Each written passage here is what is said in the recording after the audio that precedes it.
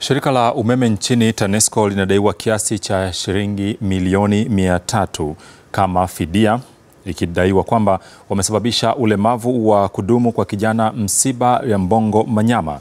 Kijana huyo alinaswa na waya za umeme uliokuwa na umeme wa kilovolt 33 wakati akiwa machungani, na hali hiyo ilisababisha akatwe mikono yake yote miwili, lakini pia mguu wake wa kushoto.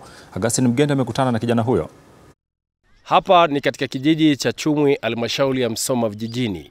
Nimemtembelea Musiba Manyama ambaye alipata ajali ya umeme tarehe 13 ya mwezi wa 8 mwaka 2017 na kupelekea kupoteza baadhi ya viungo vyake. Sikujua huko mbele eti kuna, kuna waya ya umeme. Nisikia tu ghafla nikavutwa. Baada ya kuvutwa, sikujua kingine kilichotokea, nikashtukiwa niko hospitali.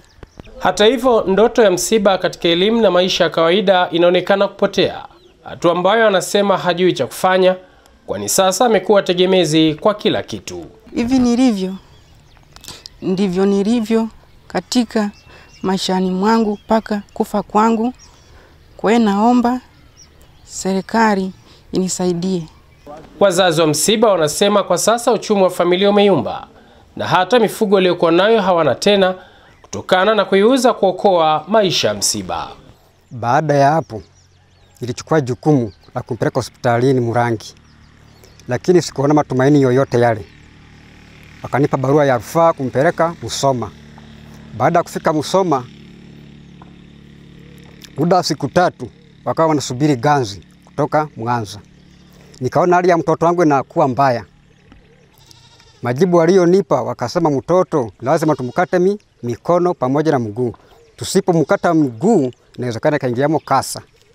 Mimi mzee nikakubali, mimi hakuna shida, nachohitaji mtoto niwe na namuangalia namuona. Mtoto huyu alikuwa anasoma, alikuwa na, ana ndoto zake katika maisha yake.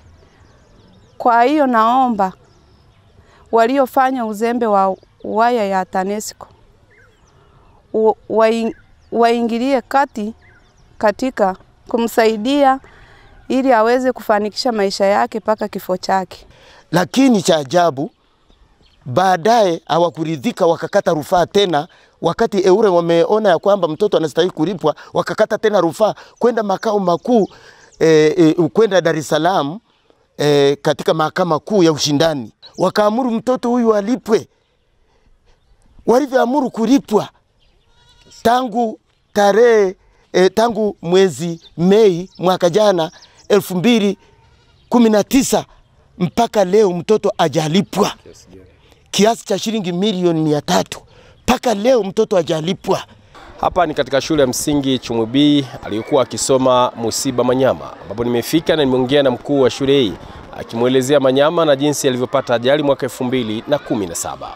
Wanafunzi wenzao walimaliza mwaka jana darasa la saba, kwa yeye hakufanikiwa kuweza kuhitimu shule kama wengine walivyohitimu, na hivyo hakuweza kufanya mtihani kulingana na lile tatizo ambalo lilikuwa limempata. Meneja wa TANESCO mkoa wa Mara, mhandisi Emmanuel Kachewa amekiri kulifahamu swala hilo la Msiba na kusema kwa sasa lipo ngazi ya kitaifa. Waswahili wanasema hujafa hujaumbika. Eneo hili ndio eneo ambalo msiba alitumia kuchunga mifugo yake kwa siku hiyo, lakini kwa bahati mbaya akapata ajali ya umeme ambayo ilipelekea kupoteza mikono yake miwili pamoja na mguu wake wa kushoto. Augustine Mgendi, Azam News.